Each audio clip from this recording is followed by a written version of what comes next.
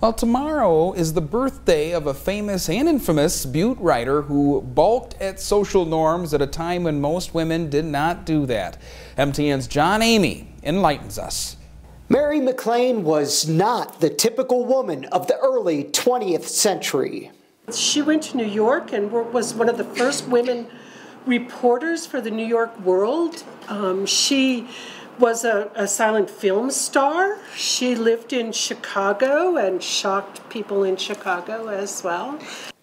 Born in Canada in 1881, MacLane moved to Butte when she was very young, living in this home on Excelsior Street, where she would write her provocative book, The Story of Mary MacLane.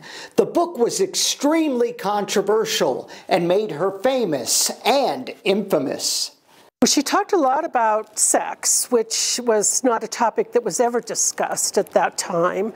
Um, the library um, board met five or six times about whether to ban her book and didn't ultimately ban the book. As a journalist, she reported on the mistreatment of the poor and immigrants and the environment. She raised uh, social issues to a point that people did have to start paying attention to them. Butte actor Rob Cox remembers being a part of a play in Butte about 10 years ago about the life of MacLane. She was uh, very interesting. She actually seemed like the kind of person that I would have hung out with. you know, she uh, she defied all of the social norms.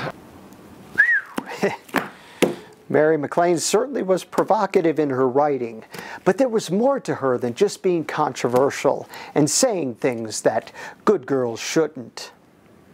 She spoke about the women should have the right to work and right to be paid equitably. And Mary really pushed the envelope on every social moray of the time that she lived in. MacLane died alone and broke in Chicago in 1929. She would be 140 years old on May 1st.